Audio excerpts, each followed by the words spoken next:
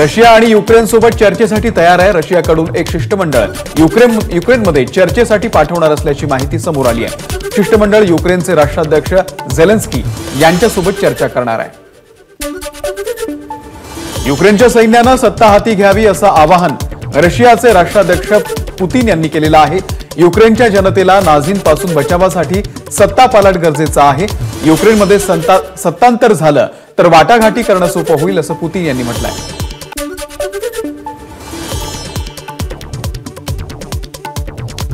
युक्रेनचे राष्ट्राध्यक्ष ओलिडिमीर झेनेस्की यांनी काल रात्री एक व्हिडिओ रिलीज केलाय. देश सोडून गेलेलो नाहीये. मी देशातच असल्याचं त्यांनी म्हटलंय. युक्रेनचे राष्ट्राध्यक्ष झेलेन्स्की यांनी सैन्याच्या बंकरमध्ये आश्रय घेतल्याची माहिती मिळते पुतीन यांना रोखण्यासाठी युरोपियन युनियननं एक मोठा निर्णय घेतल्याची माहिती समोर आली.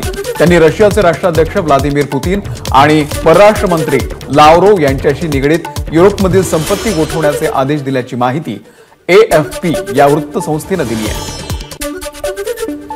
नाटो संघटना युक्रेनला राजकीय आणि व्यावहारिक पाठिंबा देणार आहे. काल झालेल्या पत्रकार परिषदेमध्ये नाटोनं ही माहिती दिली आहे. नाटोच्या सदस्यांनी रशियाच्या ऑपरेशनचा निषेध केला आहे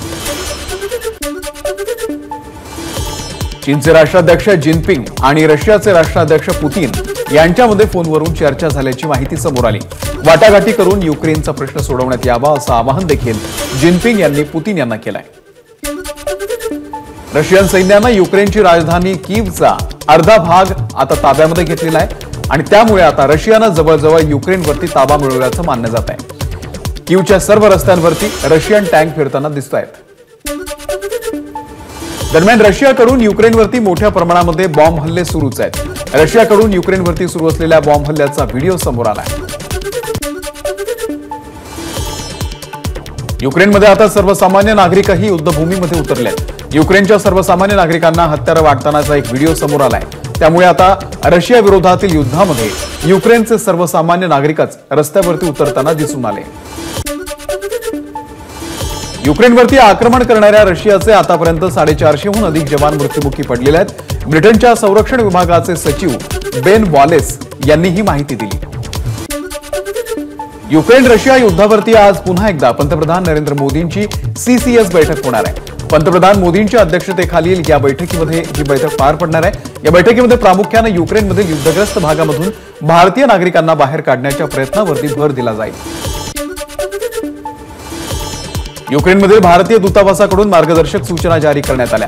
सीमा भागाजवळच्या विद्यार्थ्यांना प्राधान्य देणार असल्याचं भारतीय दूतावासानं सांगण्यात सांगण्यात आलंय. भारतीय विद्यार्थ्यांची पहिली तुकडी चेरनिवत्सी इथून युक्रेन रोमानिया सीमेवरती रवाना झाली. युक्रेनच्या अडकलेल्या भारतीयांची सुटका करण्यासाठी सरकारनं विशेष मोहीम सुरू केली. जालना जिल्ह्यामधील तीन विद्यार्थी युक्रेनमध्ये अडकलेले आहेत. या विद्यार्थ्यांनी एका व्हिडिओच्या माध्यमामधून भारतामध्ये परत येण्यासाठी भारत सरकारला विनंती केली. एबीपी माझा. उघडा डोळे बघा नीट.